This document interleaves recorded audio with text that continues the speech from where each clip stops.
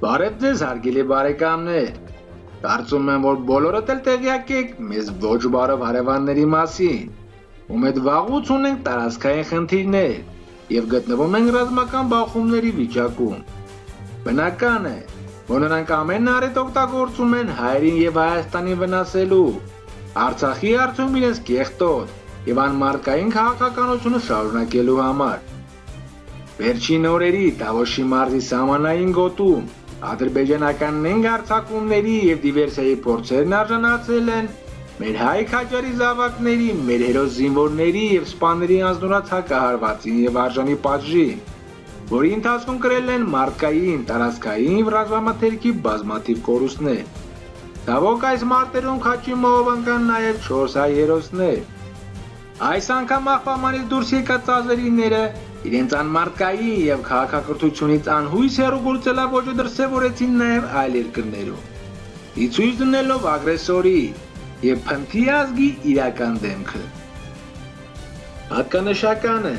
որ այդ պատճառով բազմաթիվ երկրներում եղան ցույցեր եւ բախումներ հայերի եւ ազերիների միջեւ, այդ թվում Մոսկվայում, Վարշավայում, Լոնդոնում եւ Վաշինգտոնում։ Նրանք հասան այն քայլին, որ Ռուսաստանի շատ գյուղամթերային շուկաներում ակնհայտ կերպով դրսևորեցին ազգային ատելության բազմաթիվ քայլեր։ Հատկապես պետք է նշել Մոսկվայում գործող մեծածախ Ֆուցիթի արատրի կենտրոնը, որտեղից դուրս էին հանվել հայկական գյուղամթերքով բարձված հայկական համարներով բեռնատարները, քուլ չտալով իրացնել վաճառք այդ շուկայում եւ փորձանելով փչացնել այդ մթերքը։ Անկասկած པարզ է, որ այս ամենը հենց ազերիների ձեռքի գործն է։ Քանի որ հենց այս շուկայի սեփականատերերն էին հանդիսանում ադրբեջանական ցակում ունեցող Գոտնասանովը եւ Իլհան Տախիմովը։ Փոչիդի ղեկավարները անգամ կոպիտ պատասխաններով շուկայի դուրս էին հրավիրել հարցի կարգավորման համար այնտեղ այցելած Մոսկվայի հայկական դեսպանատան ներկայացուցիչներին։ Նման իրավիճակ էր նաև Պետերբուրգում, որտեղ հարցի կարգավորմանը նպաստեց Բարգավաճ Հայաստան կուսակցության ղեկավար Գագիկ Ծառուկյանը, ում միջնորդությամբ հայկական բեռնատարներին անհատույց տեղ հատկացրեցին Լեո Մոլարետրի կենտրոնում։ Իսկ ահա Մոսկվայում իրենց աջակցությունը ցույց տվեցին գործարար Տաշիր ընկերության խմբի նախագահ Սամվել Կարապետյանը,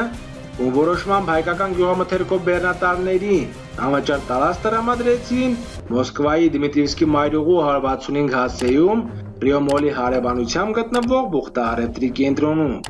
եւ Շորկովի Պուծարետրի կենտրոնի սեփականատեր Սարիբեկ Գևորքյանը։ Իսկ թե ինչպես կազմակերպեց այդ յուղամթերքի իրացումը, ցույց է տալիս հայազգի ամախմբվածությունն ու մեծությունը ազգային միասնական գաղափարախոսությամբ շարժվելու եւ պայքարելու կարողությունը եւ այն հաղթողի հոգեբանությունը,